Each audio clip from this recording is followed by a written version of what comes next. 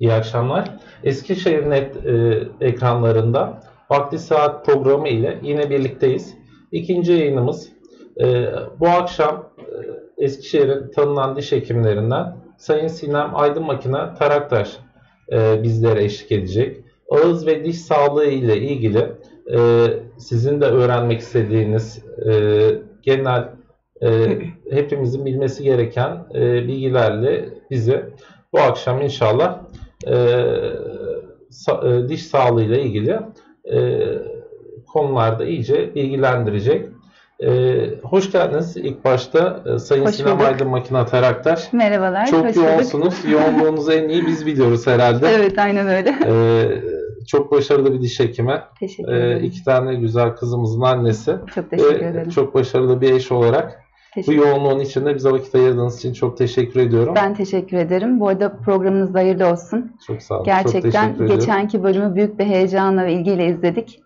İnşallah her seferinde de böyle güzel geçecek eminim. İnşallah. Allah utandırmasın. İnşallah, Elimizden geleni aynen. yapacağız. Evet. Şimdi ilk etapta çok da bize de soruluyor. Yeni yeriniz de hayırlı olsun. Çok teşekkür ederim. Ee, eski yeriniz de güzel tabii ama Hı hı. yeni yerinizde daha bir parlıyorsunuz. teşekkür Ee, ederim. hep çok mersi. hastalarınızdan da çok pozitif geri dönüşler Hı hı. oluyor.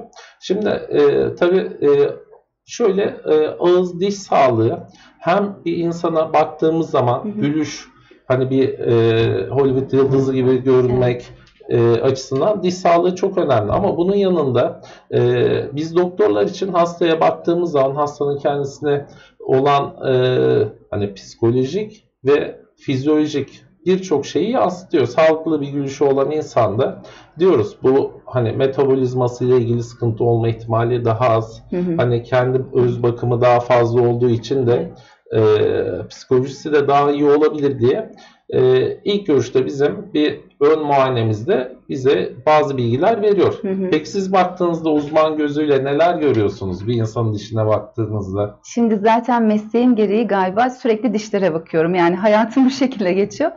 Ee, tabii ki şu an artık hani e, diş çürük yaşımız bayağı bir aşağılara indi. Maalesef yediğimiz içtiğimiz besinlerden kaynaklanan, doğru bakım yapmamaktan kaynaklanan artık hani 18 yaş altında bile o kadar çok hastamız var ki çocuk yaşta diş hekimine gelmek zorunda kalan ve dişlerini işte bir şekilde çürük sebebiyle kaybeden.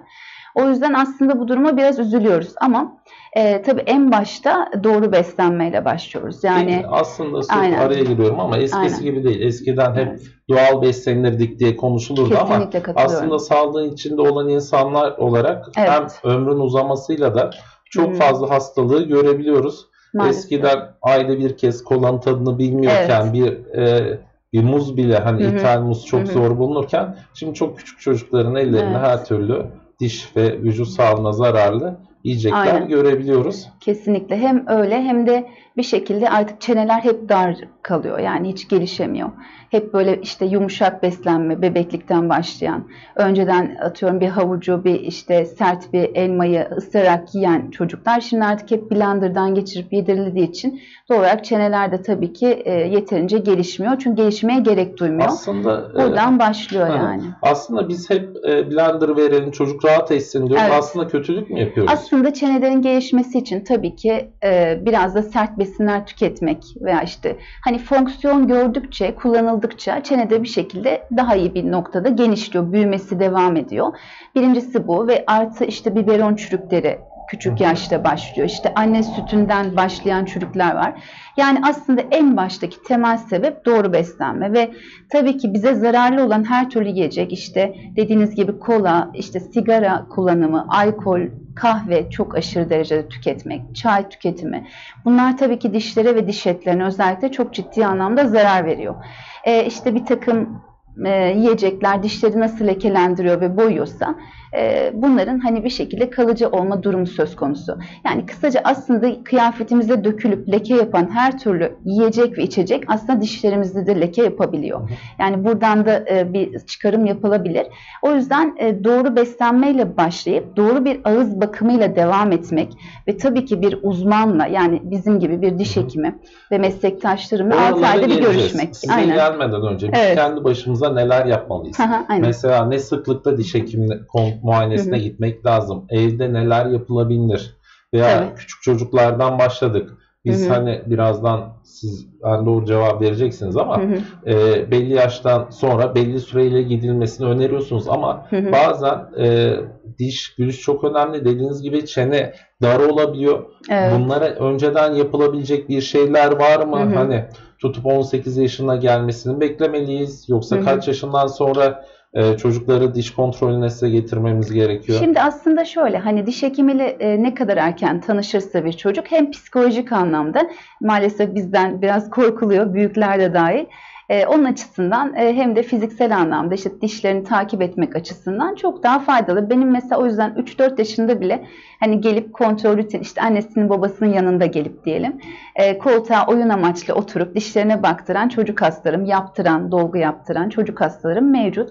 E, doğal olarak biz benim kızım da hiç aynen. korkmadan koltuğunuza oturmuştu. Aynen öyle. Ee, o yüzden e, doğal olarak e, hani biz ne kadar erken diş hekimle tanışırsak o kadar e, faydalı olduğunu düşünüyoruz ve sonrasında da şimdi diş bakımı deyince tabii ki evde hastanın yapması gereken önemlilikle e, önemli ve özellikle yapması gereken diş fırçalamak. Ve tabii bu diş fırçalamayı sadece diş fırçalamakla bırakmayıp tabii bu arada diş fırçalamanın süresi ve e, sayısı da çok önemli.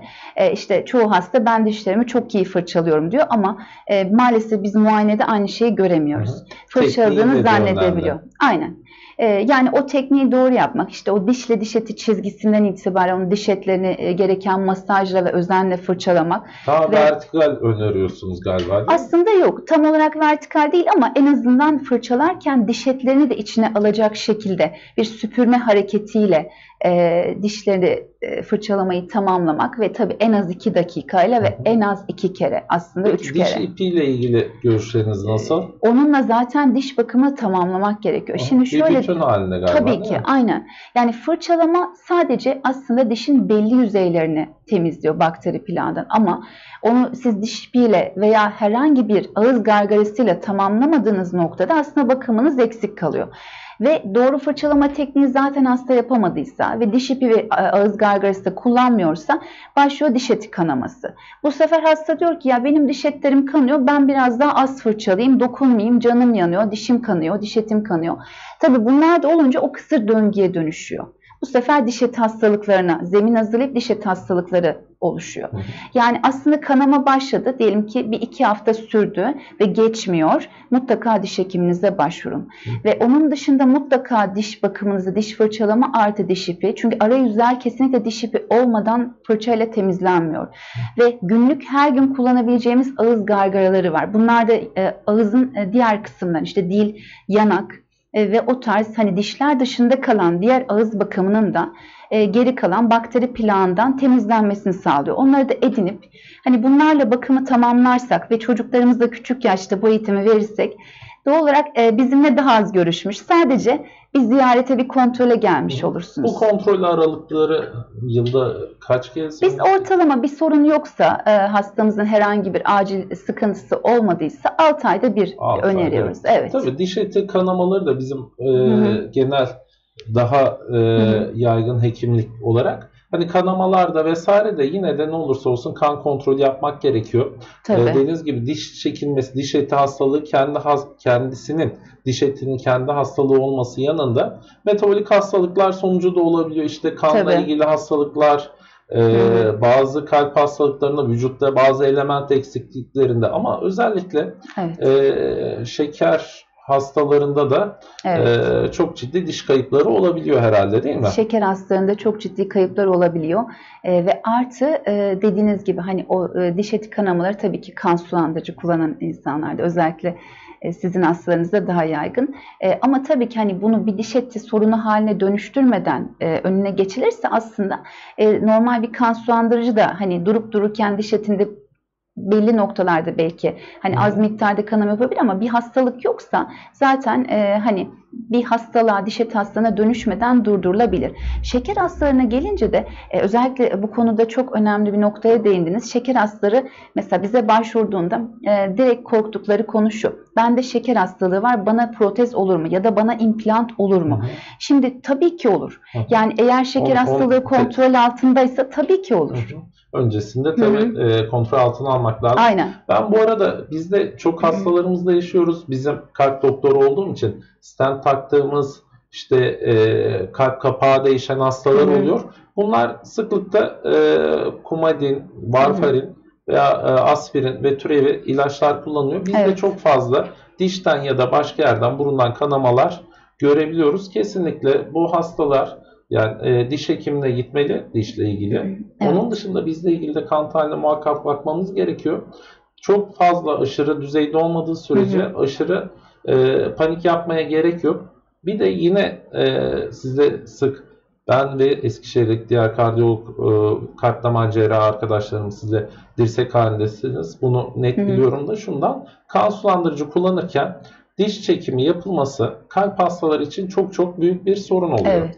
Genel e, işte ilaçları önceden kesmek, işte Hı hı. bu da stent takılmış bir hastada e, ani kalp krizlerine neden olabiliyor. Bizim istediğimiz bir şey değil kalp Doğru. doktorları olarak. Ayrıca e, kalp kapağı değişip e, varfarin tarzında işte halk arasında kumadin olarak bilinen çok ciddi kan sulandırıcılar var. Bunların e, kesilmesi kapakta Hı hı. ani pıhtılara neden olup ölümcül durumlara bile neden olabiliyor. Aynen. Ee, böyle hastalara da sizin yıllardır yaptığınız işte çene cerrahi implant vesaire bunlara bağlı tecrübenizle e, kan sulandırıcıyı kesmeden ya da çok kısa süreli kıs- e, kontrollü bir şekilde keserek Hı hı. e, müdahaleler yapıyorsunuz. Herhalde onun da bir farklı tekniği Evet, var. Tabii ki. E, özel sütürler atıyorsunuz galiba. Evet, aynen öyle. Bu da çok büyük bir boşluğu dolduruyor. Biz de Aynen. kendi meslektaşlarımla, branştaşlarımla konuştuğum zaman bizim elimizi çok rahatlatıyor. Özellikle Evet. hastaların sağlığı açısından e, çok faydalı oluyor. Özellikle bunun için çok teşekkür ediyorum. Ben Şimdi teşekkür ederim. Dişimize, Zevkle. dişimize nasıl baktık? İşte şu e, öz bakımımıza dikkat Hı, etmemiz hı. gerekiyor. İşte diş ipidir, fırçadır vesaire. Hı hı. Düzenli kontrollere gittik ya da gidemedik, bakamadık. Hı. Sonuçta dişlerde ne oluyor? Kayıplar meydana geliyor maalesef. e, çürükler Evet, oluyor. çürükler, Sonrasında çekime gidebiliyor. çekime Aynen. gidiliyor. E, orada bir boşluk oluşuyor. Evet. Mesela bu boşlukları ne şekilde tedavi edebiliyoruz? Şimdi birçok protetik tedavi var aslında ama şu an günümüzde en yaygın kullandığımız ve hastayı doğal diş kullanımını yani kendi doğal dişi gibi bir kullanım sağlayan implant yöntemi çok e, gündemde. Şimdi e, implant tabii ki e, hani e, implantın dışında bir sürü protetik tedavimiz var Orada ama bir girebilir miyim? Başka tedavilere göre gerçekten implant son dönemde bütün Evet. dünyada e, tıp zaten sağlık teknolojiyle çok paralel. Kesinlikle. Teknoloji çok ilerlediği zaman Hı hı. ilk etkilenen sağlık ve savaş e, Evet. şeyleri, e, savaşla ilgili teknolojiler. Hı hı. Şimdi e, özellikle e, gördüğüm kadarıyla hep implanta doğru gidiyor. Artık o Evet. eski köprüler vesaire bunlar pek olmuyor. Bu implant nedir? Şimdi e, implant e, açıkçası hani e, şu an gerçekten süper bir yöntem. Neden? Çünkü hastanın bütün eksik dişlerinin yerine e, koyabileceğimiz e, bir protez planlaması yapıyoruz. Hasta bize başvurdu E, ve implant e, çene kemiğine yerleştirilen eksik dişlerin e, yerine yapılan ve proteze destek olan yapay bir kök. O şekilde düşünün ve e, titanyumdan üretiliyor. Doğal olarak dokuya tabii ki ve kemiğe çok uyumlu. Tabii burada hekimin yani bizlerin e, dikkat etmesi gereken e, oradaki kemiğin e, boyu, genişliği e, bunları tabii ki e, hesaplıyoruz ve hastanın normal e, inanın e, hani sabit kendi ilk hiç kaybetmediği dişleri konumunda dişlendirip hastayı e, uzun yıllar hatta e, ömür boyu bile diyebilirim doğru bir bakımla hastaya kullanım sağlıyoruz. Yani protezlere destek sağlıyoruz. Şimdi o şekilde. burada e, bir boşluk oluştu. Oraya Evet. diğer tedavilere göre implantı tercih Aynen. ediyor. Artık tıp Hı hı. buna gidiyor.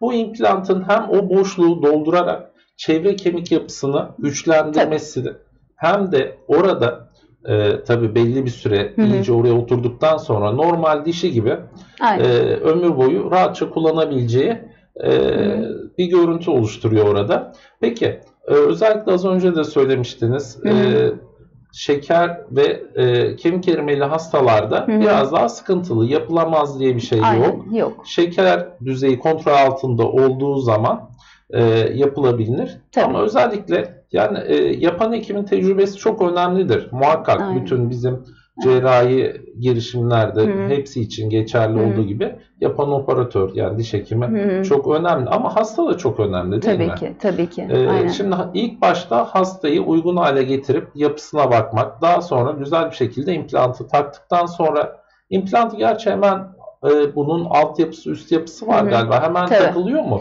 Nasıl bir Evet. süreç oluyor? Ağrı oluyor mu? Şimdi onlardan da bahsedeyim. Şimdi normalde implantın planlamasını yaptık. Yani e, boşluklarımızı, işte protez e, biçimimizi değerlendirir. Çünkü implant çoğu hastayı damaktan kurtarabiliyor. Yani sabit diş kullanmaya götürebiliyor. Bazı hastalara da damaklarına destek olması amacıyla yardımcı olarak kullanılıyor. Yani bunu bir yapay kök olarak düşünün.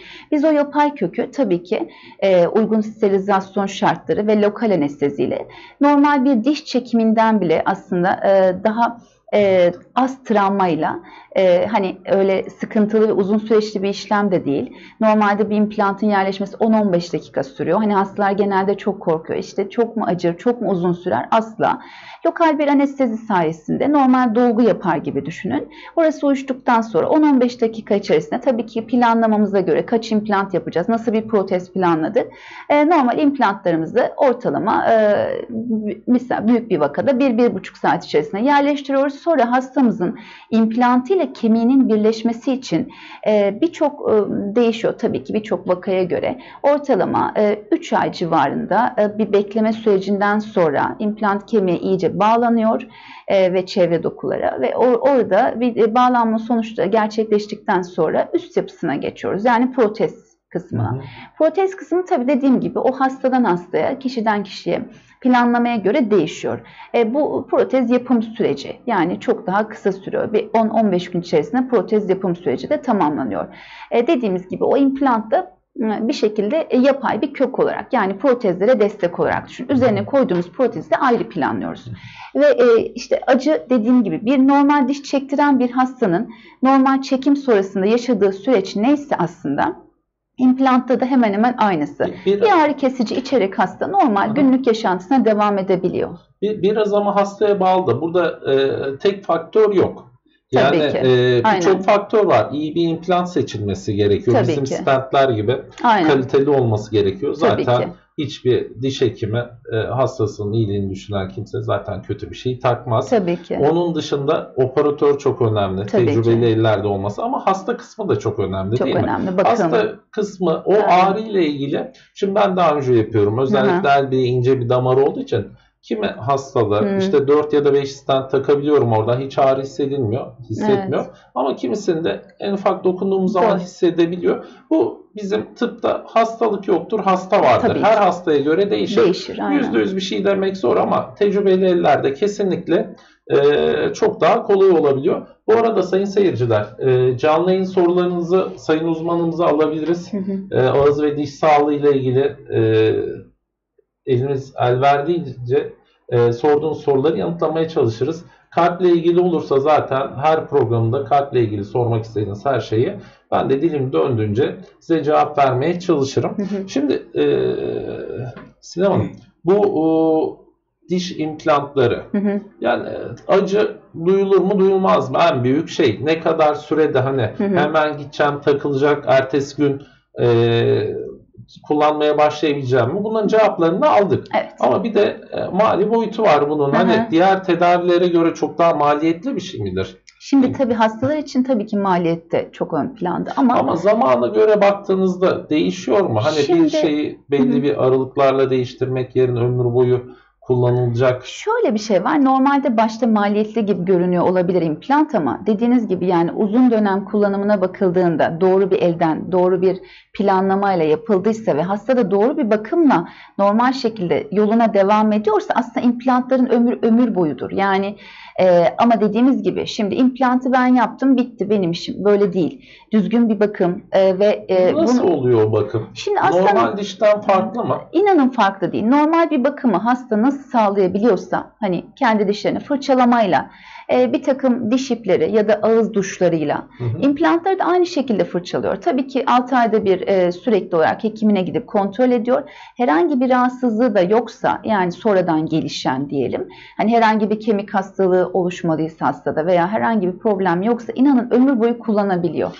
Yani o şekilde ve maliyeti bunu, bu noktadan bakıldığında aslında daha avantajlı. Çünkü normal bir porselen kaplama yapıldığında onun belirli bir ömrü var. Hı hı. Ama implantın Ne üzerine kadardır ortalama? Ortalama biz kaplamalara 8-10 yıl e, ömür biçiyoruz. Aha. Sonrasında uyumsuzluklar başlıyor. Diş eti kenarlarında uyumsuzluklar mutlaka ki oluyor. Nasıl Tabii biz yaşlanıyoruz. Aynen. Yani saçımız beyazlıyor, yüzümüz kırışıyor. Bunda da diş eti kenarlarında açılmalar başlıyor ve bir şekilde içeriye sızıntılar başlıyor. Dişlerde çürüme. O yüzden 8-10 sene ömür veriyoruz. Ama implantlarda zaten temelde bir titanyum kök var. Üzerine de uygun bir protez yapıldı. Kuvvetleri karşılayacak ve doğru bir planlamayla. Hasta da dişlerine düzgün bir bakım yapıyorsa ve 6 ayda bir de diş, eti, diş hekimine geliyorsa inanın ömür boyu implant kullanılabilir ve maliyete baktığınızda aslında o zaman çok da maliyetli olmadığı ortaya çıkacaktır yani. Şimdi Uzun e, dönemde. benim konuşmamızı e, şöyle bir başından e, itibaren toparladığımda yani dişlerimiz doğuyoruz, dişlerimiz e, oluşuyor. Bunlara iyi bakmamız gerekiyor. Bakamazsak çeşitli tedavileri var. İmplant en iyisi ikinci bir şans gibi gözüküyor değil mi? Tabii ki, tabii Yani ki. bu ikinci şansı Sabit insanlar e, siz oluyor. e, ikinci bir şans veriliyor. Yani yeni bir diş gibi neredeyse. Aynen, aynen öyle. Ama iyi bakım olmazsa Tabii onu ki. da kaybedebilir. Yani Tabii bu ki. yapıldı tamam ömür Aynen. boyu garanti gibi oluyor ama insan dikkat etmediği zaman Tabii muhakkak ki. kötü olacak. Bu arada tabii seyircilerimizden gelen sorular var. Ee, implantla ilgili e, benim sormak istediklerim genel Hı hı. olarak böyle. Evet, Bir de implantta son dönemde şunu da sorayım. Daha Hı hı. sonra seyirci sorularına dönmek istiyorum. tabii ki. Sağ olsunlar soruları var. Şimdi bu e, implantların dış kaplamaları var. Son dönemde estetik olarak da e, yapısı olarak da güçlü zirkonyum e, elementiyle ilgili Hı hı. e, çok duyum alıyorum ben. E, bu zirkonyumla ilgili nedir? E, yani özellikle dişten sonra birçok kişi duymaya başlamıştır. Yani Tabii. nedir zirkonyum? Nerelerde kullanıyorsunuz? Sadece Zirkonyum- implantta kullanılıyor mu? Yok. Başka nelerde kullanıyorsunuz? Dişte özellikle çok Hı hı. kullanılıyor. Zirkonyum e, bir kaplama biçimi aslında. Yani normalde hani bir kök düşündüğümüz implantın üzerine de zirkonyum yapılabilir. E, zirkonyum abatment ve üzerine zirkonyum konulabilir. Ya da normal hastanın kendi dişlerine de zirkonyum yapılabilir. Bir çeşit kaplama biçimi. E, hani e, porselen kaplamaların içerisinde gördüğümüz hani ben e, gördüğümüz şeklinde anlatayım. Gri metal Hı e, normalde zirkonyumlarda yoktur. Doğal olarak ışığı çok daha iyi geçirir ve Daha daha, doğal. doğal. durur. Hı. Aynen. Yani o içerisindeki o dişlerin içerisindeki o ince e, damarsal o yolları bile e, zirkonyumda verebiliyoruz. Doğal olarak hasta mesela güzel bir görüş istediğinde bile çoğu zaman zirkonyuma başvurup işte kendi dişlerinin üzerine de e, bu şekilde kaplamalarla görüşünü daha iyi bir hale de getirebiliyor. Bunu Görüş- implant üzerine de yapabiliriz. Görüşün daha iyi hale getirdik. Daha sağlam mı oluyor? Aynı mı? Şimdi kaplama kategorisine giriyor. Tabii hı. ki onların da belirli bir ömrü var. Yani zirkonyum ömür boyu kullanılır diye bir şey yok asla. Yani yine onları da biz ortalama 8-10 yıl içerisinde tekrar eğer ki tabii ki uyum bozukluğu olduysa mutlaka değiştirilmesinden yanayız. Hani uyum bozukluğu olmuş hiçbir protezi ağızda tutma taraftarı değiliz. Çünkü sonrasında bekledikçe hastada hani e, hastalar genelde şöyle bakıyorlar. Ya benim hiçbir ağrım yok, şikayetim yok. Ben bunu biraz daha kullanayım. İşte o sıkıntı. Ne oluyor? Aslında ağrısı sıkıntısı olmuyor ama içerideki dişler zarar görüyor ve bize başvurduğunda bu sefer geri dönüşümü olmayan diş kayıplarına dönüşebiliyor. Aynen. şey? Yani başı? titanyum e, implantın üzerine yine bir zirkonyum kaplama yapılabilir. O estetik çalışma istiyorsa hastamız tabii ön gruplarda genelde zirkonyum tercih ediyoruz. Arka gruplarda çok da gerek duymuyoruz açıkçası. Evet. Ee, implantla ilgili detay bilgileriniz için çok teşekkür Hı hı. ediyorum. Sayın Ahmet Filizoğlu isimli seyircimiz Hı hı. soruyor. Ortodonti tedavisi için belli bir yaş sınırı var mıdır? Şimdi e, şöyle söyleyeyim. Eğer e, iskeletsel bir problem, şimdi bu ne demek? Hastanın e, dışarıdan bakıldığında çenesinde bir anomali yani alt çenenin fazla geride olması ya da alt çenenin fazla ileride olması. Genelde çocuklarımızda bunu fark ettiğimiz an ortalama e, 9-9,5 yaşlarıdır. Hemen bir diş hekimine başvurmanız lazım. Neden? Çünkü bu iskeletsel bir problemdir. Hı hı. Bu ağaç yaşken eğilir misali eğer o yaşlarda tedavi edilirse yani büyüme ve bu büyümedeki bir anormalliktir. Ya alt çene az büyüyordur ya işte tam tersi üst çene az büyüyordur. Yani ya da tam tersidir. Şimdi bu durumu ancak 9-9,5 yaşlarında maksimum hadi 11-12 yaşına kadar çözebilirsin. Sonrasında çocuk büyüme ve gelişimini tamamlar ve artık istesek de o iskeleti düzeltemeyiz. Ama dişlerdeki herhangi bir çapraşıklık inanın e, 40 yaşında bile çözülebilir. Yani e, sadece dişlerdeki çapraşıklığı e, çözmek için ortodontik teller e, takılır ve hastanın çapraşıklığı e, tamamlanır. Ama iskeletindeki problemde çocuk yaşta özel e, çene genişletici apareylerle, damaklıklarla diyelim e, çeneler yönlendirilir. Büyüme ve gelişimleri yönlendirilir. Ama bu büyüme bitmeden yapılması Bu gerekiyor. yönlendirmeyle zaten aslında uzun dönemde başta konuştuğumuz gibi Tabii. insanların sağlığını, bütün metabolizmasını etkileyecek olumlu yönde bir tedavi Tabii olmuş ki oluyor. dil konumu bile o çocuklarda çok farklı bir konumda Ee, ve e, konuşması e, işte e, fonksiyonu hepsi değişiyor. Yani sadece estetik olarak bakmamak lazım. Hı hı. Ee, o Sağlık yüzden açısından da sağlık çok açısından önemli. çok önemli. Hanım, sorularda geliyor sürekli. Hı. Ayşe Direnci Uzungel Hanım Hı. e, soruyor. Diş Hı hı. çatlamışsa ne yapılabilir? Şimdi bu tabii biraz genel bir soru. Hani diş çatla, hani minede bir çatlak varsa bu genelde çoğumuzun ağzında vardır. Benim bile var kola şişesiyle koşarken çocukken e, dişimin ucunu minede çatlattım. Ama bu çatlak eğer e, dentindeyse, kökte bir kırık varsa vesaire onların tabii ki tedavileri çok farklı. Ama mine çatlağına genelde bir şey yapmıyoruz. Sadece takipte tutuyoruz. Dentinde veya işte daha alt tabaka tabii onların tedavi biçimleri değişiyor. Hani bu çatlak biraz daha genel bir konu. Evet. Nerede olduğuna bağlı. Hangi Etioloji tabakada? de önemli değil mi? Hani niye olmuş, Tabii neden? Travma mı? başka Aynen durup sebeplerle mi? muayene etmeden herhalde çok daha net Tabii cevap bilemeyiz. biraz Aynen. zor. Biraz sadece bruksizm, diş sıkma alışkanlığı var. Mesela bunlardan dolayı da bazen minelerde çatlamalar, bazen aşınmalar, abrazyonlar çok görüyoruz Bunlarla bunu. ilgili de tedavileriniz var değil mi? Tabii ki. Plaktır, Tabii ki. e, Kliniğimizde her türlü Bo- botoks tedavisi, çene botoksu, Tabii yapıyorum, diş, onu da yapıyorum, e, aynen. sıkmalarında da Hı hı, çok faydası oluyor. evet. E, Emel Güce, Gücer e, özel isimli, Hı hı. e, Gödücer özür diliyorum, Gödücer özel isimli seyircimiz soruyor.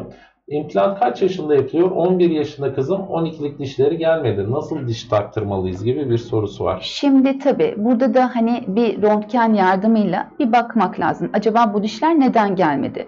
Belki acaba oluşmadı mı? Hani hiç bazen oluşmayabiliyor. Bazen Hı hı. eksik dişlerle e, hastalar ömür boyu idame ettirmek zorunda kalabilir hayatlarını. Anne karnında oluşmuyor. Şimdi acaba öyle bir durum mu? E, oluşacak mı oluşmayacak? Bunu bir röntgenle tespit ediyoruz ama e, oluşacaksa zaten bekliyoruz. İşte o 12 yaşında illa 12 yaşına çıkmak zorunda değil. Bazen geç de çıkabiliyor. 13-14 hani diş yaşı biraz daha geç gelebiliyor. Bu çocuktan çocuğa değişiyor. İmplant tedavisi ne zaman yapılır dersek biz genelde 18 yaşından altındaki çocuklara implant yapılmıyor. Hı hı. Neden? Çünkü çene gelişimini tamamlaması lazım. Çenenin belirli bir büyüme ve gelişim oranı var. O oranı tamamlayıp e, kendi tamamen fonksiyonunu bulması lazım. O yüzden Hı hı. 18 yaşından küçük çocuklarımızda daha doğrusu gençlerimizde diyelim implant yapamıyoruz. Çok teşekkür ediyoruz. Ben teşekkür Bu ederim. bilgiler için. Evet. Çoluk çocuğun arasında, iş yoğunluğu arasında bize vakit ayırdığınız için. Ben çok mutlu oldum. Gerçekten programınızı tekrar tebrik ediyorum. Çok başarılısınız ve daha da başarılı olacaksınız. Karşınızda ilk defa çok heyecanlandım. İlk mi de? Yani- çok mutlu Bu kadar ilk ayrıca. defa Çok heyecanlandım. teşekkür ediyoruz. Ben teşekkür ederim. Sayın Eskişehir Net izleyicileri bir Vakti Saat programında daha birlikteydik.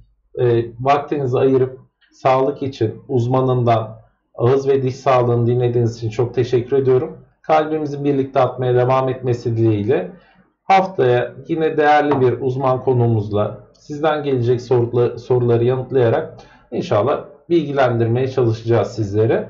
İyi akşamlar.